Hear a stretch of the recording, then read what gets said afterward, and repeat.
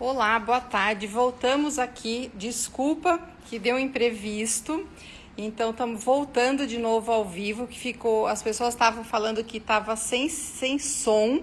Então a Rose parou no mesmo ponto que estava e estamos voltando de novo, que é fazer o babado da saia. Eu acho que todo mundo voltou. Peço desculpa do que aconteceu.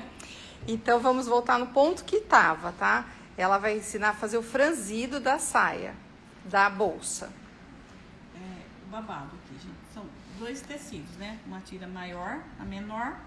Preguei a renda nas duas, tá? Só preguei a renda aqui. Né? Como eu falei, pode ser essa renda larga ou um babado maior, uma renda estreitinha aqui. Aqui aparece mais o, a estampa do tecido, né? Aí, o que que eu fiz? Eu, é, você vai sobrepor a menor sobre a maior. Vai ficar dois tecidos, um em cima do outro. Aí eu passei duas costuras aqui, ó. Faz, faz uma costura com o ponto bem aberto, né, Rose? Isso, aí você vai por trás. Para facilitar de, é, a parte de franzir. Porque são dois tecidos, então você tem que colocar uns quatro na máquina, tá? Ó, eu passo sempre duas costuras paralelas, tá? Um ponto no quatro.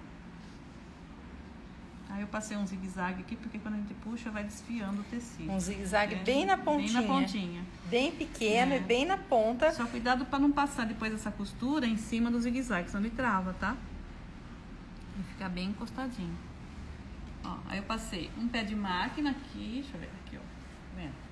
Primeiro você passa um pé de máquina, depois outra costura paralela. E depois puxa a linha. Ó, já fica os dois franzidos, tá vendo? Então vai, franzir de uma vez só as duas até que ele fique do saias. tamanho da, desse aqui, ó. Ah, essa parte aqui, ó, do, do cos em cima, ela tem 11 centímetros, tá? Essa aí sempre é bom ficar com 11.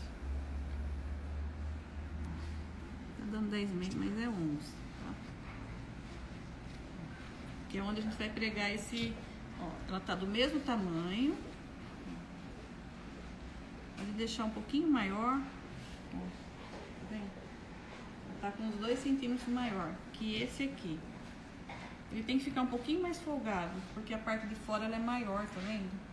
Aí você tem que dar uma ajeitadinha Sim, na hora de pregar. Fez a medida interna, né? Isso. E aí essa vai ser a parte externa. Aí você vai pegar isso aqui, ó. Isso aqui, né? Então o babado franziu ó, e deixou. ele fica um pouquinho maior, ó. Pode deixar ele um centímetro maior. Um centímetro maior do que a parte de interna dentro, da bolsa. Porque a gente tem que ir ajeitando depois. Porque a parte de fora, ela é maior.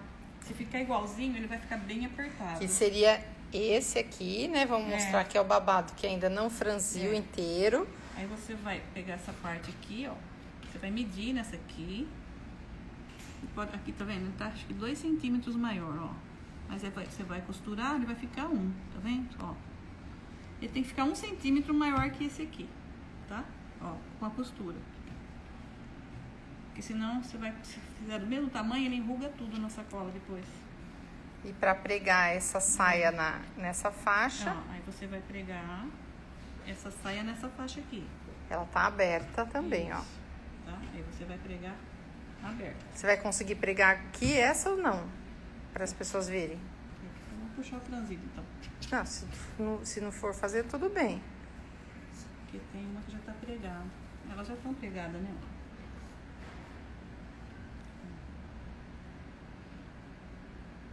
Aqui. Deixa eu tirar essas agulhinhas. Vou mostrar pra vocês aqui.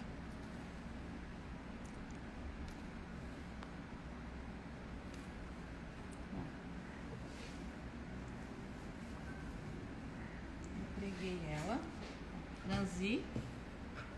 E fechou. Peguei aqui, ó. Então, Depois de franzido, vem prega direito com direito. Ela fica assim.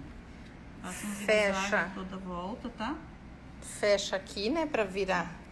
Aí preguei, aí eu fechei aqui. Fechei aqui do lado, tá? Olha lá, a Branca falou que os coelhinhos são maravilhosos, que ela queria muito fazer o curso. Branca estava querendo. Então, Branca, vem passear em Campinas e vem fazer o curso com a Rose. Que cidade a Branca mora? Nome? Ó, tá vendo? Ela ficou igual uma saia. O comprimento do tecido para ser franzido é de quantos centímetros? Aqui, ó, na pequena eu deixei a largura do tecido. Tem 40, meio, né? E Então, na grande, 2 metros. Na grande deu- usou 2 metros e na pequena 1,40, É, 1,50. Tá? Aí, A peça que está sendo feita é essa bolsa aqui, olha, que é, vamos dizer, uma roupa para a bolsa. Então, a gente está chamando de bolsa piquenique. tá? Aí eu preguei aqui, ó. Tá? Boa tarde. Preguei Oi, e boa tarde. costurei do lado. Tá? Aí desvira aqui. Agora o que eu tenho que fazer? Fazer o acabamento aqui. Aí você vai fazer uma dobra pra dentro. Na metade, né? Na metade, ó. Tá com- Vocês têm aula aqui. presencial? Sim, a gente tem aula presencial aqui em Campinas.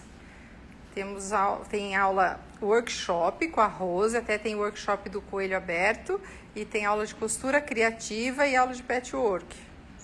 Aí eu dobrei, tá vendo? Não precisa. Aqui, ó, se quiser fazer a mão, com costura invisível, pode, mas não tem necessidade, tá? Ela não vai aparecer, não vai né? aparecer. Eu passei um zigue-zague aqui, eu dobrei. Dá uma passadinha no ferro, ah, né? isso, acerta bem com ferro. Acerta com o ferro.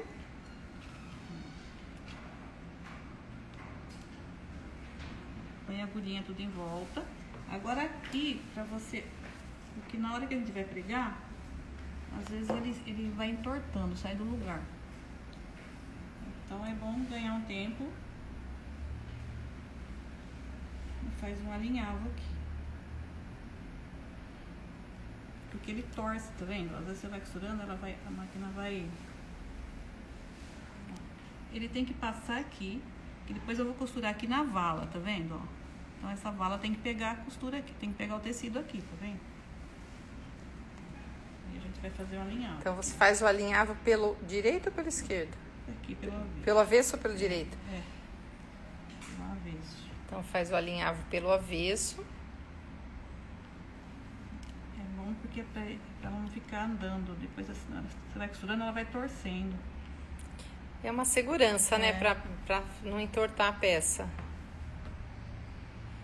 Alguma dúvida, meninas? Ela é bem fácil, gente. Só que é, o que dá mais trabalho é franzir o babadinho. Principalmente para quem faz boneca, acompanha a Rose, é praticamente a saia da boneca, né, É, Rose? Então, foi um erro na saia isso aqui. Olha lá, a bolsa saiu de um erro de uma saia de boneca. Olha lá. Que bom, né? Nós ganhamos mais essa peça linda. É que eu fiz a, um vestido pra boneca e eu achei que a renda ficou muito pesada pro, pro vestido, não ficou bom. Aí tinha uma sacola lá, eu falei pra minha mãe, ah, vamos cortar e fazer uma. uma Olha, o sacola. curso do coelho vai ser sexta-feira, dia 11, aqui na Cris Maser. É um workshop. Você vai sair com essa peça pronta. Olha lá. Cris, eu sei que está fazendo uma live, mas seria legal um work também dessa aula. Olha lá, Rose, estão querendo work de bolsa também. Bolsa de palha? Olha, então o workshop, para quem pediu do coelho, vai ser esse aqui. Você escolhe qual coelho você vai querer fazer, se é a menina ou o menino. Vocês podem mandar mensagem aqui pelo Instagram para Cris Maser, que a gente responde. São poucas vagas, deve ter bem poucas, porque a aula vai ser para seis alunas apenas. Então vai ser uma aula bem tranquila, bem com muita atenção da Rose para todas as alunas. E olha, fazia tempo que você não fazia work presencial, Faz, hein? É o primeiro, faz uns dois anos. Acho que faz dois anos. Então, olha, quem gosta de fazer um work presencial com a Rose, aproveita, porque faz, fazia dois anos que não, a gente não fazia nenhum.